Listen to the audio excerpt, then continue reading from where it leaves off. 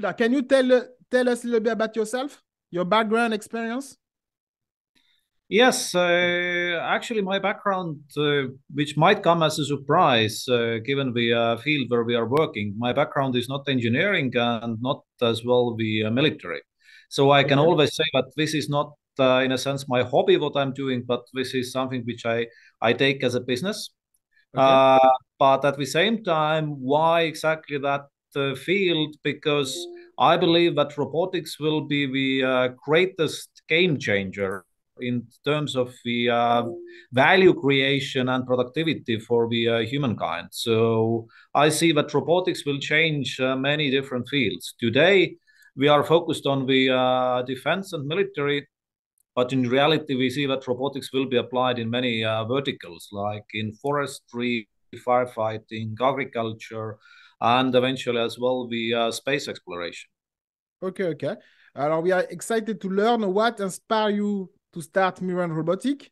And what is the what, what is the vision and mission beyond that? Well, we started already for the ground robotics uh, pretty early on. We started in 2014. And okay. actually, we analyzed the market that what will be in defense sector the next uh, technology which will change the battlefield or which will bring the uh, disruptive change. And we used the analogy of the uh, drones or the aerial uh, uh robotic systems. And we projected it uh, to the ground robotics field. Back in 2014, of course, everybody uh, considered that you are the crazy guys who are dealing with something which nobody will never use and the technology will not be ready for that, etc. Of course, now, uh, 10 years later, it is uh, glad to see that actually we were right. So uh, today everybody is talking about, especially in defense, everybody is talking about the ground robotics and how robotics will shape the uh, battlefield. Okay. Why we are why we are doing and what is the purpose of the Milrem robotics? Uh, we we phrase the purpose in a manner that we enable more meaningful lives.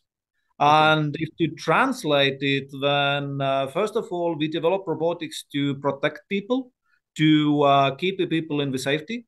Okay. But uh, secondly, as well, that robot, robots will do the, so to say, dull and dirty tasks. So uh, starting from there, we believe and we see that in uh, different sectors like forestry, agriculture, mining, robots can do things what today humans are doing. Okay. And that will release people more time to focus on more creative uh, tasks. So, in general, I think that if you look at the uh, development of the AI and development of robotics, we can see that certain professions are uh, disappearing in coming years. And uh, this is inevitable. So, and to find the common uh, nominator for these uh, professions, I, I, think that they are just repetitive tasks where people have been doing really, uh, uh how do you put it, really dull tasks and dull job.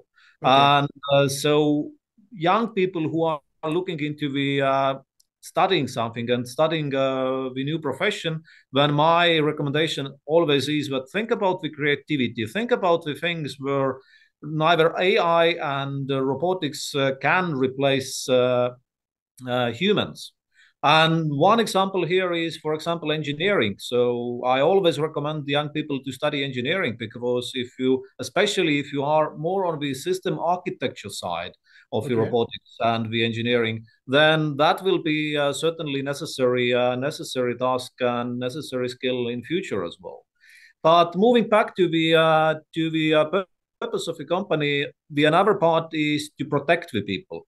So we, as you uh, very well know, we are today very strongly in the defense sector, and we always say that we are protecting, we are developing the robotic systems to protect the people, not to uh, not to uh, do the offensive tasks, but to the defensive tasks. And even if we integrate the weapon system uh, on the uh, robot, then it's to protect our troops.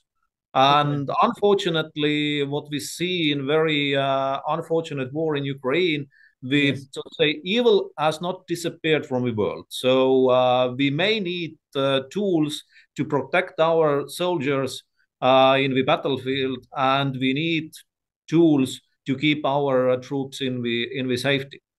Okay, okay, that's impressive. And uh, I saw your conference uh, on YouTube, and I want to know now, autonomous battlefield is the future or is fiction? Is future or is fiction? It is already now. So if you look at the uh, what is ongoing in Ukraine, I think that the uh, drones, aerial systems, have demonstrated that they are very uh, useful and central tools in the war fighting. Okay. And yes, that is not the autonomy what uh, people have seen in the Terminator movies, and that kind of autonomy will never uh, be there. That's out of the question. But still, uh, the the uh, robotic systems already right now provide better information, provide the uh, better uh, ways how to protect yourself, and better ways how to disable the the adversaries. Okay. So uh, in the drone sector, we can see that surveillance and uh, information gathering is very important. And another uh, sector which has uh, proven itself in the Ukraine is the loitering munition, which was before just an idea.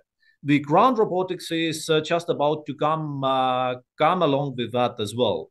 For example, from Milrem right now, there are some systems already in Ukraine in service and we are uh, just about to send another set of uh, systems there as well.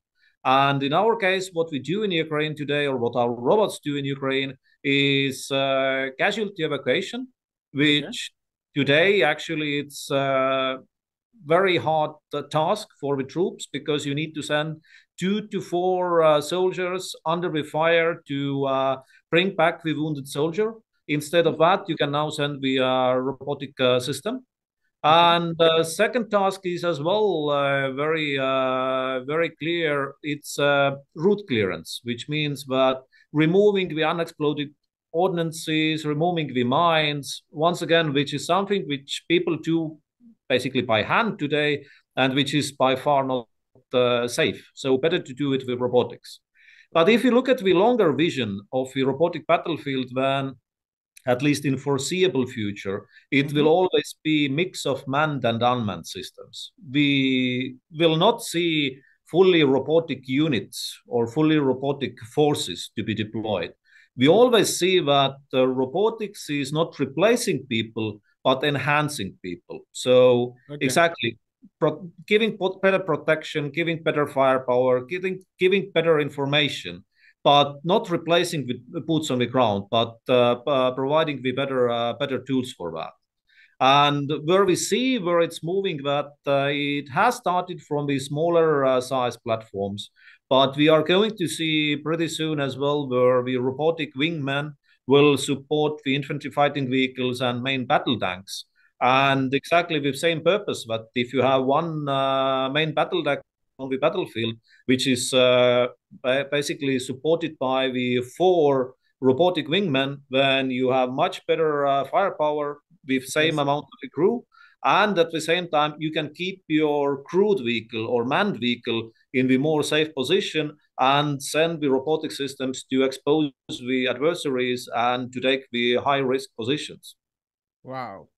Can you share any advice for aspiring entrepreneur? Yeah, who are interested in start a robotic company like yours?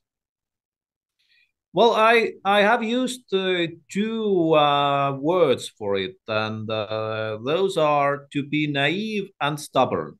Okay. And what I, what I mean by that is that entrepreneur has to be visionary. Mm. Entrepreneur needs to believe in something which seems not realistic for uh, most of the people. Because mm-hmm. if you want to do something uh, if you want to achieve something new on the market then you should not just copy others but you should think about what is the uh, advantage what, of what you are doing and how you can do something differently and most importantly how you can make the difference. And make the difference for your uh, customers for your partners. Because eventually as an entrepreneur you are not just service provider but you are partner for your customers and you help them to solve a certain problem or you help them to uh, get better capabilities or to get better uh, better solutions. So that is in a sense the naive part. So it's not so much the naive but it's more about being visionary. The, stubborn, okay. the stubbornness comes along with uh, difficulties because I believe that every entrepreneur has seen on his route lots of uh, risks, lots of uh, problems to solve, and lots of challenges.